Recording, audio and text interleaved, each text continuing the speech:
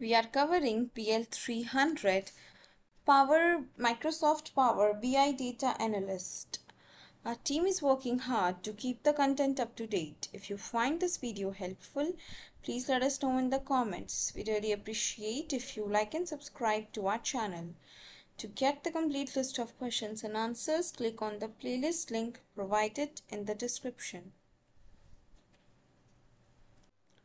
Our question is, you have an Azure SQL database that contains transactions. The database is updated frequently. You need to generate reports from the data to detect fraudulent transactions. The data must be visible within 5 minutes of an, of an update.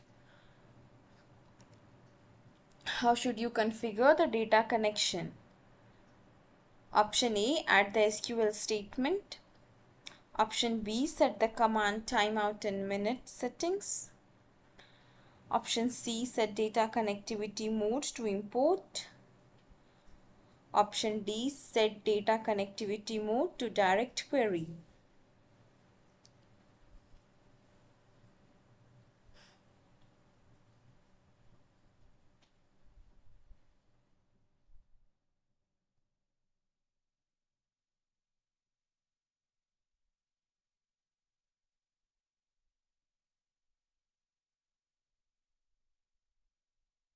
The correct answer is option D.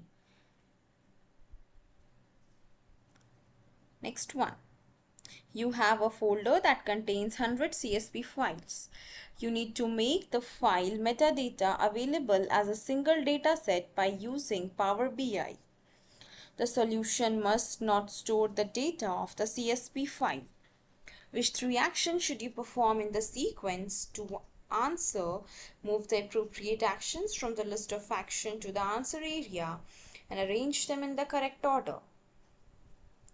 Kindly see the given list of actions.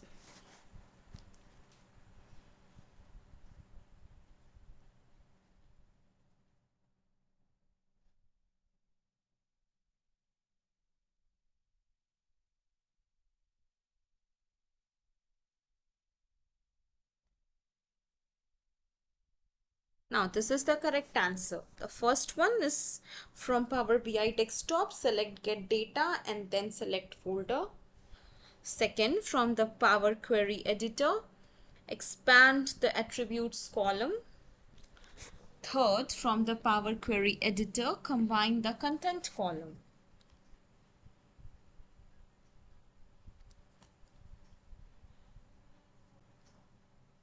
Next one the business intelligence developer creates the data flow in the Power BI and uses direct query to access tables from an on-premises Microsoft SQL server.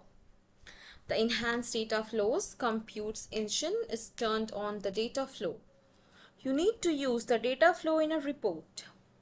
The solution must meet the following requirements. Minimize online processing operations, minimize calculation time and render times for visuals,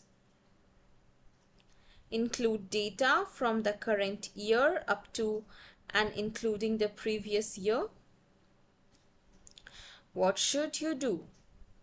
Option A, create a data flows connection that has the direct query mode selected.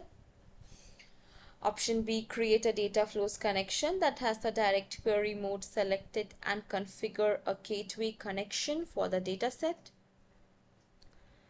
Option C, create a data flows connection that has import mode selected and schedule a daily fresh. Option D, create a data flows connection that has the import mode selected and create the Microsoft Power Automate solution to refresh the data early.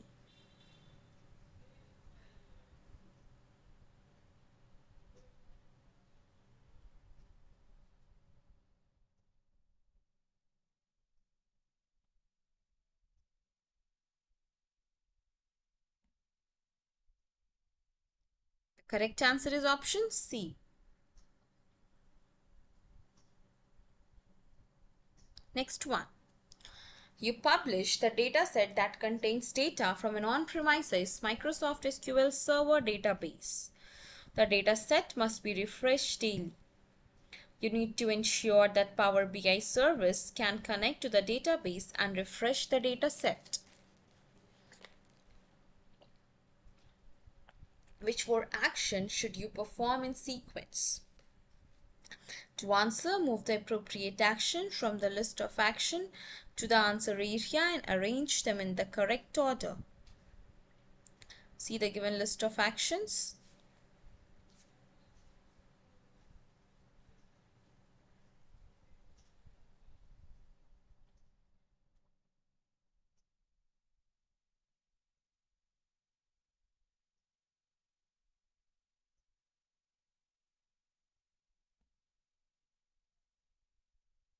Now, this is the correct answer. First step is configure an on-premises data gateway. Second is add a data source. Third, add the data set owner to the data source. And fourth, configure a scheduled refresh.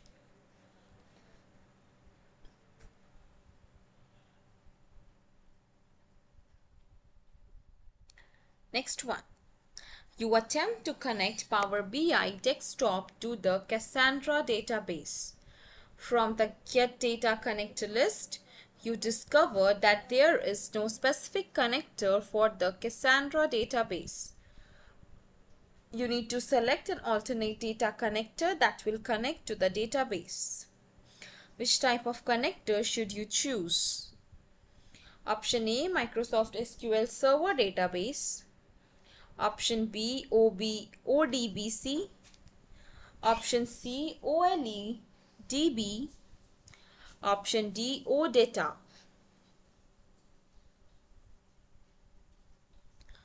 The correct answer is option B